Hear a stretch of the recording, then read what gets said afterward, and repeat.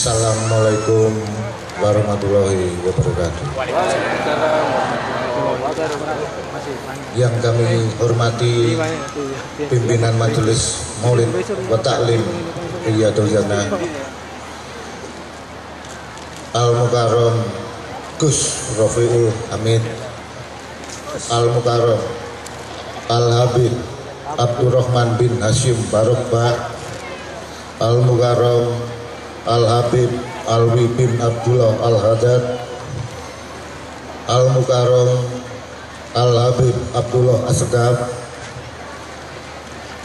Al Mukarram Al Habib Toha Al Muktor dan seluruh habaib serta kiai haji yang tidak bisa kami sebut satu persatu karena banyaknya yang hadir. yang kami hormati Bapak Kapolsek Wonosari beserta anggota dan yang kami hormati Bapak Kepala Desa Wonosari beserta staf dan yang kami muliakan jemaah Majelis Maulid wa Taklim Ridatul Jannah yang dimuliakan oleh Allah Subhanahu wa taala. Amin. Karena rahmat Allah Subhanahu wa taala lah maka pada siang hari ini Majelis Maulid wa Taklim Jannah bisa mengadakan pertemuan di siang hari ini. Kami atas nama keluarga besar Pesarian Gunung Kawi beserta seluruh warga masyarakat Wonosari mengucapkan beribu-ribu terima kasih atas kehadiran dari seluruh majelis wataklim Ridatul Jannah ke desa kami di Wonosari ini. Semoga diawali dengan kegiatan pada siang hari ini maka ini bisa mempererat tali silaturahim antara seluruh majelis Ridatul Jannah dengan seluruh warga desa Wonosari.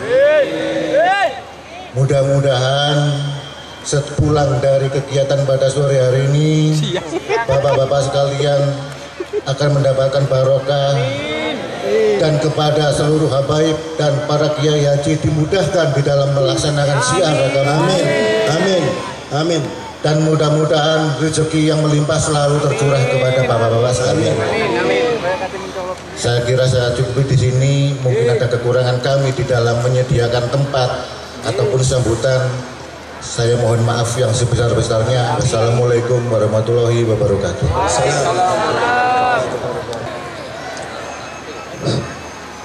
Bismillahirrahmanirrahim. Assalamualaikum warahmatullahi wabarakatuh.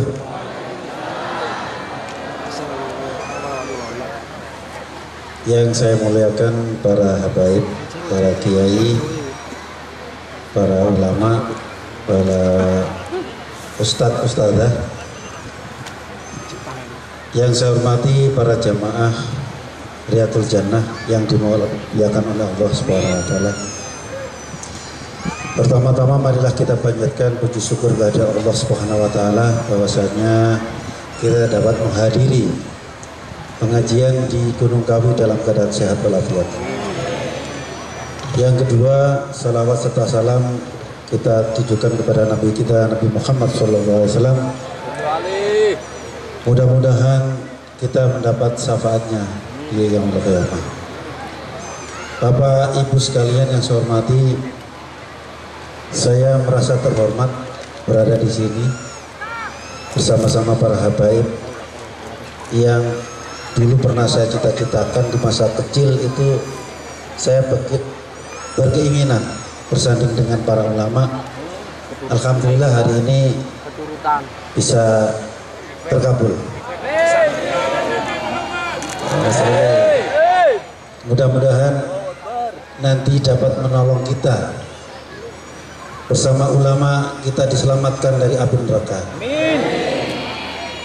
Hadirin Bapak Ibu sekalian yang saya hormati, suasana ini mengingatkan saya pada saat di Raudhah. Ini sangat tenang sekali, sangat khusyuk kita berdoa kepada Allah Subhanahu wa taala. Mudah-mudahan kita di perjalanan, di rumah, selalu mendapat syafaat dari Rasulullah SAW. Bapak Ibu sekalian, saya selaku Kapolsek Wonosari ini sudah kurang lebih tiga tahun. Jadi April yang lalu, tiga tahun yang lalu sampai April sekarang ini sudah tiga tahun. Saya mohon maaf kepada panitia, saya kaget menghadap saya panitia. Pak ini ada pengajian Riyadul Jannah. Berapa jamaahnya? 18 ribu Pak. Astagfirullahaladzim. Terus saya kaget. Terus sampai sudah koordinasi dengan siapa saja? Belum Pak. Nah ini nah, sedikit agak marah. Memang saya mohon maaf kepada panitia. Karena saya nggak tahu dan belum pernah didatangi jamaah sebesar itu. Saya bayangkan yang macam-macam. Alhamdulillah saya dapat masukan dari teman-teman Kapolsek kalau Riyadul Jannah itu sudah ada panitianya gini gini gini nih saya agak tenang. Nah, saya pagi, tadi pagi saya kontrol banyak rekan-rekan yang membantu tentang memberi petunjuk di parkir dan lain sebagainya di lain e, jamaah yang lain mungkin nggak seperti di Riyadul Jannah Tepuk tangan itu Rasul. Allahumma sholli Muhammad. Bapak Ibu sekalian, para baik, eh, saya menitip pesan di Polres Malang ini, khususnya Jawa Timur, itu banyak kejadian tentang pelecehan seksual. Ya, ini kasusnya ratingnya tinggi saya pesan kepada Bapak Ibu sekalian agar ini dampaknya di HP, mulai HP ya. HP ini bisa mengakses ke mana-mana, bisa YouTube dengan melihat film-film yang yang bertentangan dengan norma-norma agama ini mempengaruhi tingkah laku anak-anak kita bahkan yang sudah berumur pun ini bisa terpengaruh. Ini mohon disampaikan mungkin di majelis taklim yang lain sehingga untuk meredam meredam agar anak cucu kita terselamatkan oleh hal-hal yang tidak kita inginkan. Yang kedua, kasus yang kedua paling tinggi ini kecelakaan lalu lintas. Ya, kecelakaan lintas didominasi oleh, oleh remaja. Agar ibu bapak sekalian untuk tidak memberi pelajaran mengendarai kendaraan bermotor sebelum umur 17 tahun. Mengingat ini kecelakaan sangat tinggi sekali. Jangan bangga bahwa anak kita umur 10 tahun sudah bisa mengendarai sepeda, sepeda motor. Itu sama dengan memberi racun kepada anak kita. Nanti kalau tidak mengendarai kendaraan bermotor ke sekolah nanti tidak mau sekolah. Ya karena temannya udah bawa sepeda motor SMP ini ya. Ujung-ujungnya nanti kecelakaan bapak ibu sekalian yang susah dan bisa-bisa dituntut. Kalau seizin orang tua bapak ibu dikenakan pasal tidak bisa melindungi anak perlindungan anak ya.